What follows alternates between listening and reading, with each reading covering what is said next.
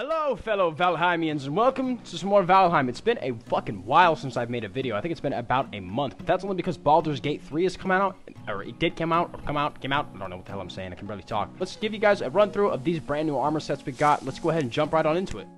Now, the armor pieces we have here will be the Arcane armor set. Now, I don't think, or I do think this is from Warhammer. If you guys know Warhammer, then that is what this armor set will be from. Okay, we're disappeared, and there we are. You can already tell right off the bat, this is a really cool fucking armor set. You got little faces on the goddamn chest piece. It's got the glowing helmet, horns on the goddamn top. You even have a skull on top of your head.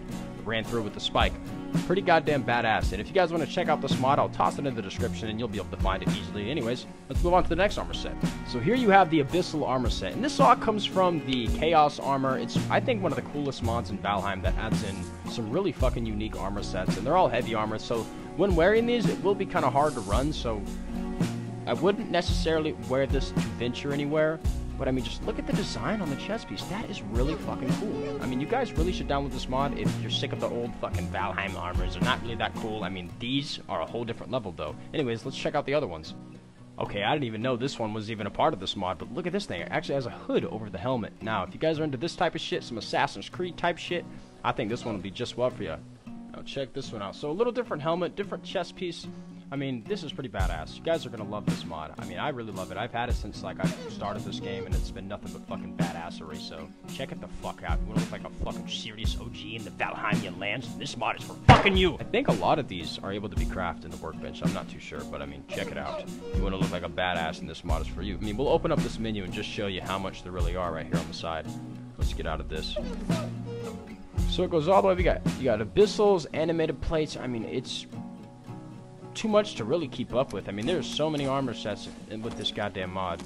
Pretty fucking dope. And I mean, there's plenty of looks you can go for. All I did was take off my chest, and I look like I'm about to take down a fucking troll with one punch. And I have must to mention. The spooky season is thus near, so happy Halloween, everyone. In case I don't get the chance to tell y'all in the future, I'll tell you now. The season of Halloween is here we shall celebrate it in Valheim by throwing pumpkins down. And if you guys want to have these cool pumpkins and weird hands sticking out of the ground trying to grab your balls, then just go ahead and download the Halloween mod pack for Valheim and you can check it out there and have all these cool Halloween decorations. I don't know if this is all the Halloween decorations, but it's what we got so far. So, anyways, that about wraps this up. I just wanted to make this video because I do have a lot of questions about, you know, where I find these armor sets and what armor is that and you guys will be able to find it here. It'll be the Chaos Armor.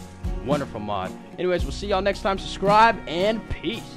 Happy Halloween. Happy Halloween. Happy Halloween. Happiest of the Halloweens. Happy Halloween. We are fucking flying in the sky.